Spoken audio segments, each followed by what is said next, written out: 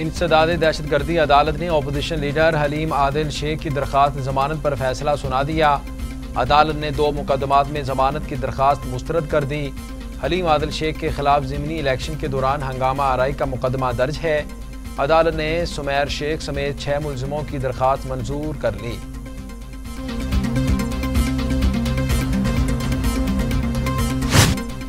Saint election خفیہ رائے شماری سے ہوں گے۔ کرپٹ پریکٹسز روکنے کے لیے الیکشن کمیشن آف پاکستان جدید ٹیکنالوجی کی مدد لے۔ سپریم کورٹ نے صدارتی ریفرنس پر رائے دے دی۔ عدالت نے صدارتی ریفرنس پر رائے چار ایک کی تناسب سے سنائی۔ جسٹس یاہیا افریدی نے رائے سے اختلاف کیا۔ سپریم کورٹ نے جمعرات کو سینٹ انتخابات اوپن بیلٹ سے کروانے سے متعلق صدارتی ریفرنس پر فریقین کے دلائل مکمل ہونے کے بعد رائے محفوظ کر لی تھی۔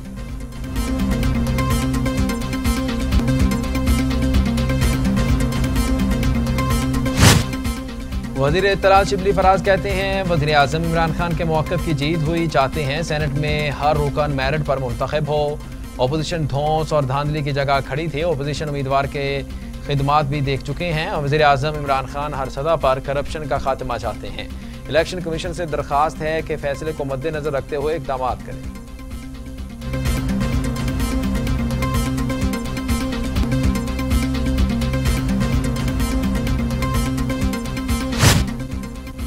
شیخ رشید کہتے ہیں، سپریم کورٹ کا فیصلہ آئینی اور قانونی ہے۔ سینٹ الیکشن دلچسپ ہوں گے۔ انہوں نے دعویٰ کیا کہ حفیظ شیخ اسلام آباد سے جیتیں گے۔ باقی صوبوں میں سیٹلمنٹ ہو رہی ہے۔ خیبر پختونخوا میں بھی بات چیت چل رہی ہے۔ اس کا فیصلہ ابھی آج ہو جائے گا۔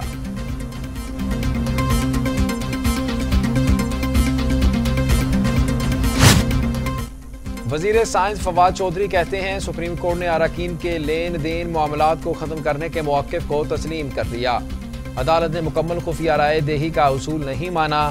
الیکشن کمیشن کو کہا گیا ہے کہ وہ شفاف انتخابات کے لیے اقدامات کرے۔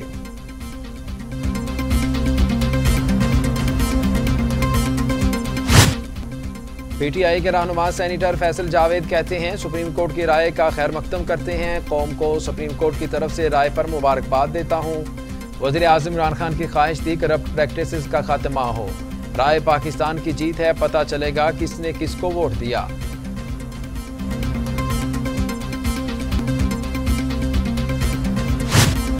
اٹارنی جنرل خالد جاوید کہتے ہیں، جو چاہتے تھے وہ مل گیا۔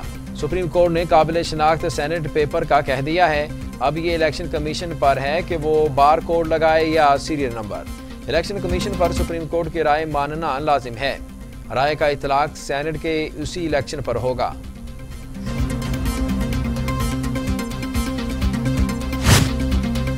پیپلز پارٹی کے سینیٹر مصطفیٰ نواز کھوکھر کہتے ہیں، لڑکھڑاتی حکومت کو سینٹ انتخابات سے قبل بڑی شکست ہوئی۔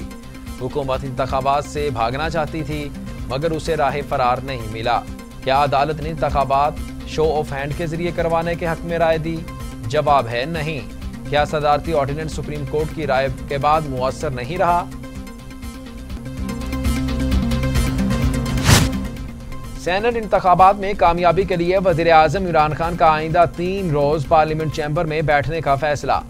دو روز پارلیمنٹ ہاؤس میں ارکان سے ملاقاتیں کریں گے۔ ارکان اسمبلی کے مسائل سنیں گے اور خدشات دور کریں گے۔ سینٹ انتخابات کے باعث ہفتہ وار کابینہ اجلاس بھی مؤخر ہونے کا امکان۔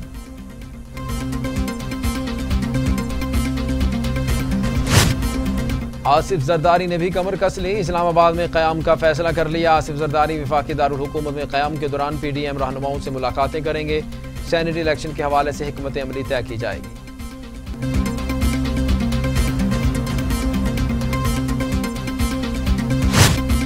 بلاول بھٹو زرداری کی مولانا فضل الرحمان سے انتہائی اہم ملاقات۔ سربراہ پی ڈی ایم کہتے ہیں حکومتی صفوں میں مایوسی چھائی ہوئی ہے۔ ہم سینٹ الیکشن کے لیے متحد ہیں۔ سینٹ الیکشن میں اچھے نتائج سامنے آئیں گے۔ پی ڈی ایم ہی ملک میں عوام کی اس وقت تنہا آواز ہے